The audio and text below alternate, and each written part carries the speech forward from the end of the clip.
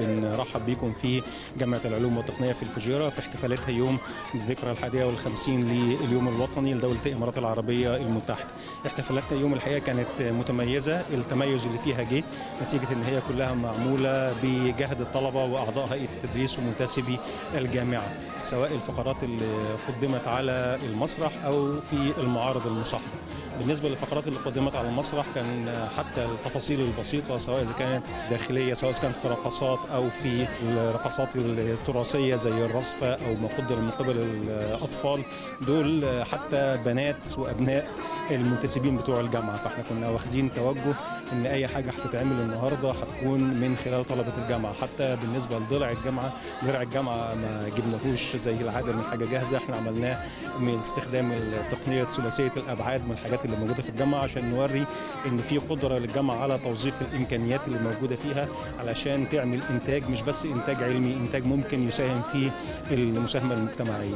كان في مجموعة من المعارض المصاحبة كانت بتوري مشاركة أبناء الجامعة في التراث وكمان كانت بتوري إنجازات طلبة الجامعة اللي كانت متمثلة في الفوزهم بالعديد من الجوائز سواء إذا كانت على المستوى المحلي ولا على المستوى الدولي.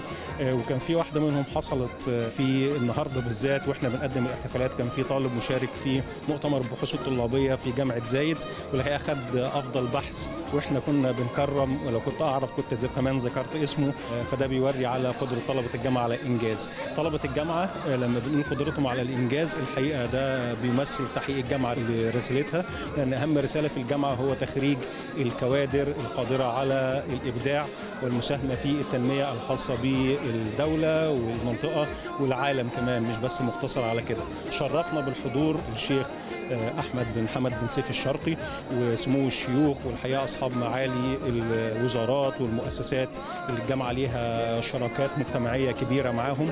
والحقيقة كان اليوم منظم وجميل وسعدنا بيهم جدا. والحقيقة إن شاء الله نسعد بيكم في مناسبات أخرى قادمة سواء إذا كان على المستوى العلمي أو على المستوى الاجتماعي.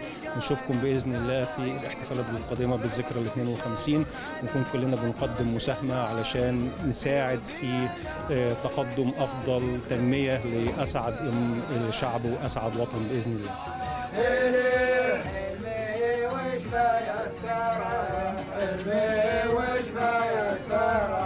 والبعض